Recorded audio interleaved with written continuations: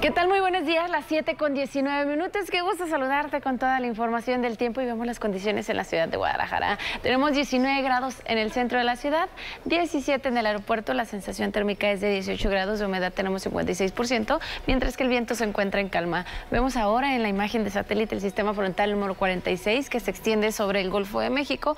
Este es impulsado por una masa de aire frío que deja a su paso un evento de norte en el litoral del Golfo de México. Las rachas de viento superan los 60 kilómetros por hora para las costas de Tamaulipas, Veracruz y Tabasco. Por otra parte, tenemos una circulación anticiclónica que permite todavía el tiempo bastante estable, cielos despejados y temperaturas muy calurosas a lo largo del día. Ingresa también un poco de humedad del Pacífico, lo cual estará trayendo un cielo parcialmente nublado aquí en el estado, pero vemos que al momento libre de precipitación. Para Colotlán esta tarde una temperatura máxima de 31 con una mínima de 10 en los altos allá para la zona de Lagos de Moreno, 31 por la tarde, continúa también el cielo parcialmente nublado y amanece el día, el día de mañana con 11 grados. Para la zona sur del estado, 29 en Ciudad Guzmán con una mínima de 11. Manzanillo, Colima sube a los 31 también. Y toda la región de la costa, esta humedad estará trayendo también un cielo medio nublado a lo largo de la tarde y noche, con temperaturas máximas y cálidas, 28 en Puerto Vallarta, amanecen con 19 el día de mañana. En Cihuatlán, una máxima de 32